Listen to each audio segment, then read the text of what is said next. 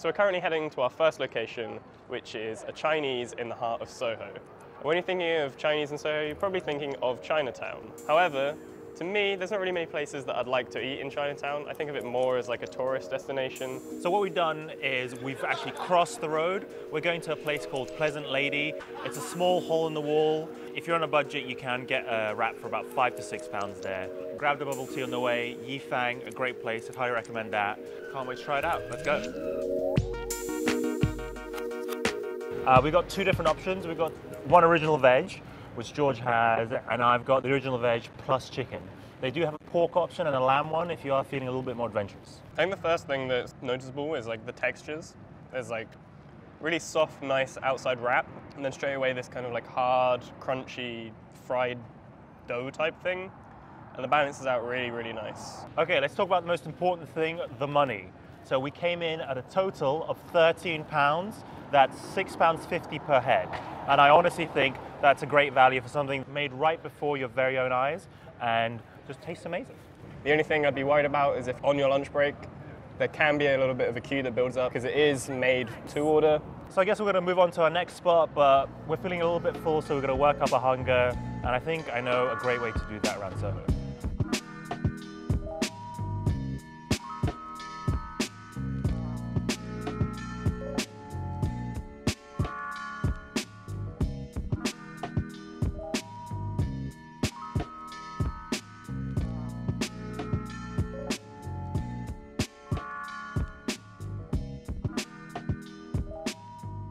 Okay, so place number two is the Kati Roll Company.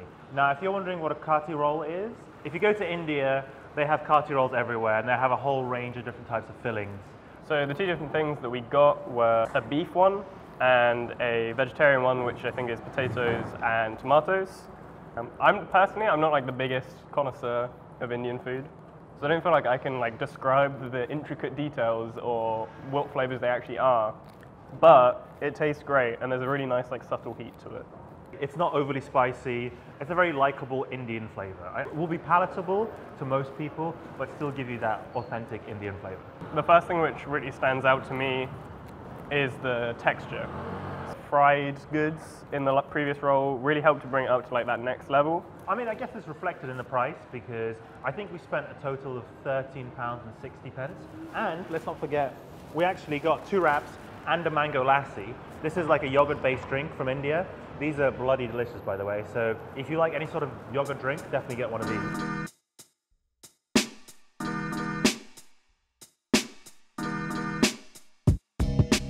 Okay, so we're on our third location of the day, and you guessed it, it's fish and chips. Because we're in the UK, we have to do fish and chips. So in central London, lots of the places you're going to be going for fish and chips can cost around £12 to £20, which to me is a bit on the pricey side. So we're going to be going to this place, which is way more affordable, and it's right by Waterloo, and it is Masters Superfish.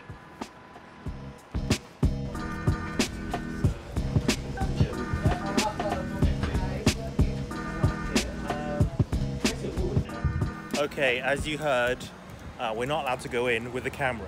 So we're gonna go incognito mode, aren't we, George? Oh yes. We're sneaking in, come on.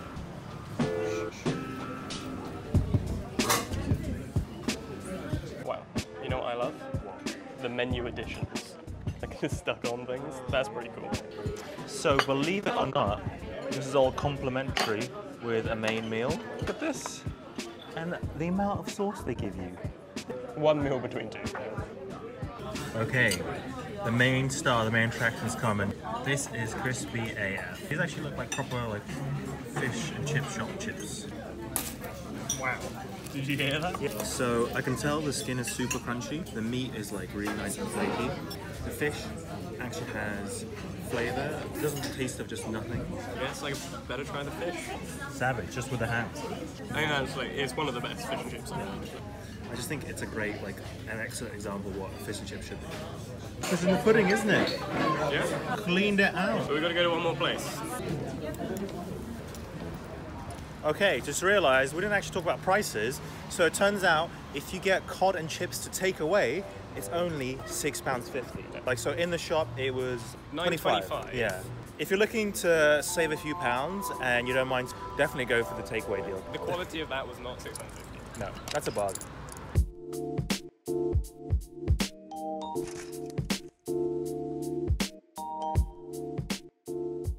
Okay, so we just left our fourth and final destination. It's a place called Lebo. Lebo stands for Lebanese Grill.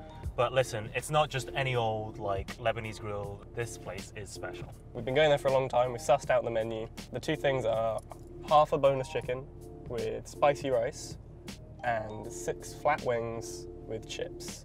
Both of the meals together I think came to 12 pounds. So this place is an absolute bargain. Okay, so I have to actually eat this. I'm quite hungry. The wings look delicious. Like the char on them is so amazing. Yeah, I mean, to me, I think the standout point about Lebo is the difference from crunchy outside to super juicy succulent inside. Damn that flavor. So good. Charcoal flavor on the skin. There's a really nice marinade going on. Mhm. It's not too strong. Okay, let's try the chips or fries. Bit soggy. It's just a humble, humble cheap fry. You know? Mm. Let's go for the half chicken. Still the same grill flavor. I would say perhaps the meat isn't as juicy as the wings, Mm. but highly convenient because the half chicken is boneless. I think Lebo is more than just the chicken though.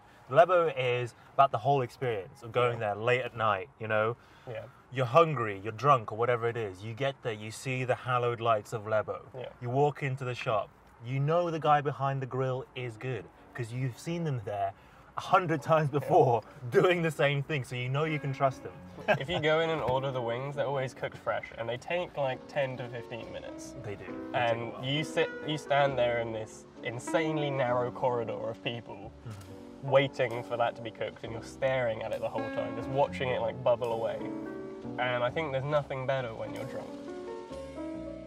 Okay, so we've now come to the end of the road. We've eaten all the food. I'm pretty done. What was your favorite? If you had to twist my arm and make me choose one, I probably would say Pleasant Lady, which was the first place we went to. I think for the price point, it's interesting food, it's central, it's super delicious, readily available. What sounds like? Pleasant Lady was definitely the most interesting and unusual. I think Lebo is the one that I would keep going back to. And I mean, it's the one that I do keep going back to. And I think for 375 to, for just wings, it also comes in as the cheapest.